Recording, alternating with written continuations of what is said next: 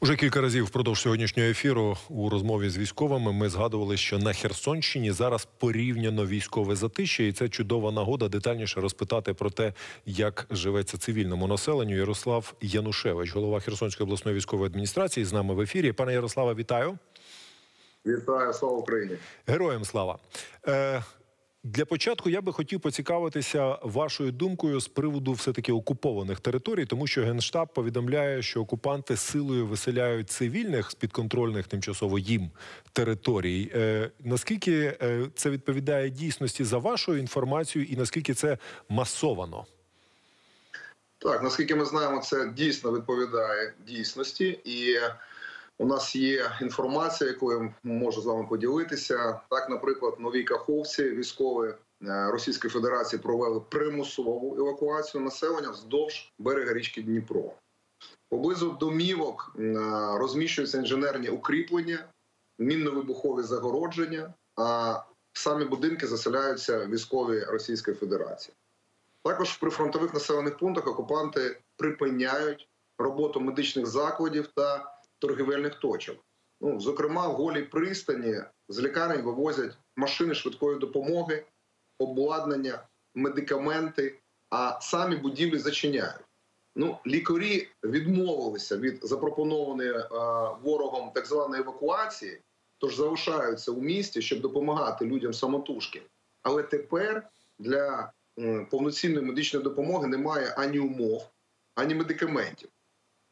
Місцеві е, колаборанти заявляють, що з 4 листопада в місті не працюватиме і ринок, а з 5 листопада примусово закриватимуть продуктові крамниці.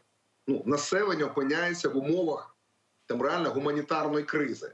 На сьогоднішній день е, поки що ми не фіксували фактів примусового вивезення дорослих людей. Тож люди масово відмовляються від так званої евакуації. А і ми ж повинні розуміти, що по суті ця евакуація є депортацією на інші захоплені е, Росією землі. Е, в голій пристані, окопи і фортифікаційні споруди, фортифікаційні споруди загарбники створюють прямо в центрі міста. Е, загалом ситуація на тимчасово окупованих територіях дуже складна. Люди не мають базових послуг, яких як електрогазопостачання, їх позбавляють зв'язку з рідними. З 29 жовтня мені здається зовсім немає інтернету у новій каховці.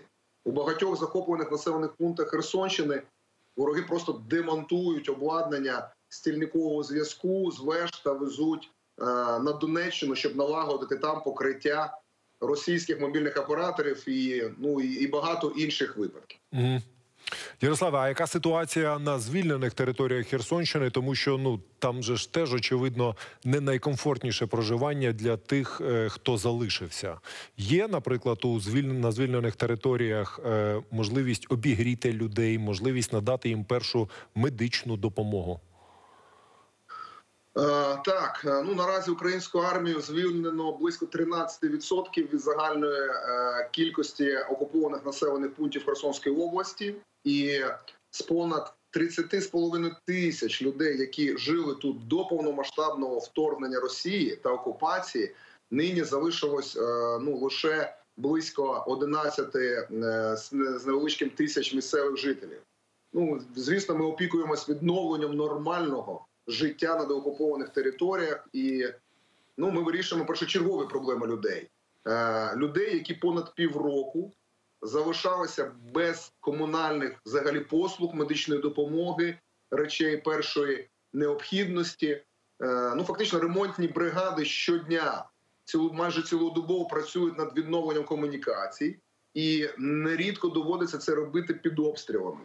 Тож до роботи долучаються вибухотехніки, Е, які попередньо розміновують ці території. Нині я можу сказати, що у 14 населених пунктах вже є світло у шести селах. Е, електроживлення відновлено ще поки частково. Над відновленням світла у решті населених пунктів енергетики працюють у 11 селах та селищах повністю відновлено централізоване водопостачання. Є населені пункти, куди е, організований підвіз питної води. Е, з газом вже у нас Кочебеївка, Пригір'я, Заградівка, Орлове. Вчора ввечері фахівці повернули газ в перші оселі жителів Великої Олександрівки. Е, Через близькість фронту та постійні обстріли ці роботи значно значно ускладнюються.